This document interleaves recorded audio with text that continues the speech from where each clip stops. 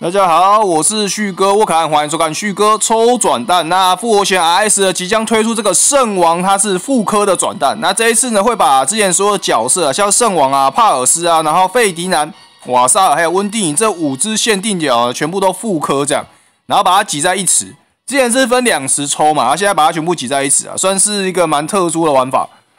那假如就是你之前没有抽就是圣王这些角色的话，那我建议可以抽一下。尤其是这个圣王一点零，还有这个诶费迪南这两只可以抽一下。那其他的话就是加减抽，然后温蒂尼还不错啊。然后其他就是没什么在用，像帕尔斯还有瓦塞尔，基本上没抽到或是有抽到没有在用也是还好。主要是这个圣王一点零呢，基本上是必抽啊，就是因为它的招式很好用。那这个费迪南也是很强势的斩属性的角色，所以这两只基本上。嗯，建议大家把它抽到手了，没有就是赚的话，那也没关系啊，就慢慢等之后吧。之后圣王有没有其他版本这样，有赚的话，建议就是你现在没有圣王一点点，就把它抽到手。好，那现在就是来看一下角色了。这里面呢，五只呢，三只是旭哥有的，分别是这个圣王啊、温蒂尼还有瓦萨尔。那帕尔斯和费迪南旭哥还没抽到，但是这一次这一次旭哥就会 skip 了，因为。这五只里面我已经有三只了，尤其是重点是这个圣王我已经有了。好，我们看一下角色好了，直接看角色。圣王一点零呢，它在这个有魔改过，还有稍微魔改魔改一下它的这个加成值，这样它的加成值有稍微魔改了一下，稍微上调了一些。那其实重点不是它的加成值，而是它的这个加主要是加腕力和速度了，它的能力值。重点是他的这个胜利之师啊，它可以 buff 我方的腕力、体力、速度、智力啊，那个是很多高难度关卡都很好用的。然后其他像是这个有全体的这个涂家养的这个挥舞回旋戟也很好用，天国俯冲 SS，然后单体的这个涂家养也不错，就是这几个都不错啦。然后王者气量啊这些招式被动技能组也都很好用，但是现在圣王二点零更好用，可以让圣王二点零去继承这个胜利之师这样。好，他这个这个枪的秘诀啊，装备枪的时候伤害上升嘛，精神亢奋，常驻的伤害上升效果大。王者气量就是他回合结束的时候 BP 的加，基本上他技能组都非常实用。所以圣王现在这一支还是分数还是我记得有九十八，然后即使就是在那个日版呢，他们出了那么多角色之后，圣王这一支一点零还是分数还是非常高，所以就是基本上必抽啊。好，那其他的像是温蒂尼这一支呢，温蒂尼这个版本呢，就是可以当做收集图面啊。那他的招式呢，像是活力之水、水锤，都还是蛮算蛮实用的。这只主要以加智力为主，然后加成值也还 OK，堪用。智力加九十二趴，再加十七还堪用。这样，活力之水就是补体力，然后就是体力上升补血 HP 这样。然后水锤嘛，就是很常见的，人家打，然后 BP 六的，还可以降智这样。雷霆一级就是单体的，单体的 SS 的晕，然后威威力那个是 SS，BP 是十这样。基本上就是还 OK 的角色啦，可用可不用的角色。好，那这一只呢，它有就是回复的时候可以提高这个智力和精神，效果大，然后还可以回复呼吸，就是说，呃，自己回合会自己把呃加自己的 HP 这样。再来就是有这个精神亢奋第四级常驻的，伤害上升效果大的第四级。好，所以这次温蒂尼可以抽也不错啦，就是图还蛮好看的啦，就加减抽，然后没抽到也没关系那种。那再来就是这个费迪南，哎，费迪南我没抽到，好，我要讲一下那个另外还有一只瓦萨尔，瓦萨尔其实是我基本上都摆在仓库啊。第一个难角啊，第二个就是水属性的角色蛮多的，就慢慢练起来这样。那智力加成还不错啦，应该可以加到九十六吧，还九十七之类的，九六吧。好，那这个寒气呢，第一招就是单体的冷属性，然后降敏捷。所以就是打一些降敏捷可以用到瓦萨尔，再来呢雷雨就是全体的冷加雷，这个是全体技。再来咆哮风暴呢，这刀比较特殊，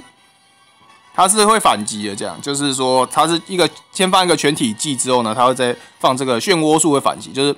它只要被打的话用漩涡术反击，威力吸这样。好，那他会用这个旋风漩涡风，像我这个已经练到九十九级，他就会用九十九级来反击这样。那再来精神亢奋呢？就是乱开始的时候，我方的存活者精神上升，他直接 buff 我方精神的，就还不错啦。再来坚城铁壁，就是可以把它当做个坦，这样它就可以在受到攻击的时候可以减免那个一百帕伤害，然后几率中就是看运气啊，运气好的话就完全不会受伤。铁臂守护就是受到攻击的时候，他受到伤害会减少这样，所以基本上他就是个魔魔法坦，魔法坦还蛮有趣的角色，魔法坦。但是目前不缺坦，所以就没有特别用它。那但是招式也都还不错啦，抽到可以加减完，然后没有用也没关系的角色。好，那接下来我们讲一下，最主要就是圣王了。那这一次的算是第二大奖是这个费迪南，费迪南呢，他评价九十五分还是蛮高的。这样，那加成值的话就是瓦力在一百三十二名，智力三百八十四名，体力一百九十名，精神四百零二名，速度一百一十名，敏捷一百一十一百七十一名，魅力一百名，然后爱在三百五十名，大概是属于中间的位置。那这一只比较特殊的是，它的技能组还蛮强势的。然后第一招这个挥剑威力一，然后觉醒的话是 BP 零，BP 零就是说它不需要消耗 BP，每回合就可以一直回 BP 这样，然后还可以 buff 自己的腕力，腕力上升，就还蛮好用的这样。就是然后第二招呢，这个威力一，然后 BP 九，BP 九觉醒两次话 BP 七，它可以打二到四次，斩加图双属性的，双属性就还蛮强势的，因为吃斩加土的还蛮多的，所以就是这个双属性还蛮好用的。然后又打二到四次这样，它打四次的话就很痛啊。只要 BP 七就可以打到四次，其实是非常强势的招式，所以他这一支就是分数会那么高，主要是因为这一招。然后第三招就是威力 A BP 十五，然后斩加土全体技，然后用完之后自己的腕力会下降，这样也是跟他的另外费迪南的那个另外版本差不多，会自己降自己腕力，还蛮好笑的。好，那主要这一支卖点就是它的第二招了，第一招、第二招都还不错用，主要应该就是第一招、第二招这样接来接去用啊。第三招应该基本上是不会特别去用它，就是一二招这样互相使用，因为二加四二到四次，只要打四次真的蛮爽的这样。所以这一只哦，这个生配型哦，色色的，今天怎么那么那么嗨？好，那这个反攻回避呢？这个就是被攻击的时候可以回避这样的第二级，然后还可以就是顺便反击，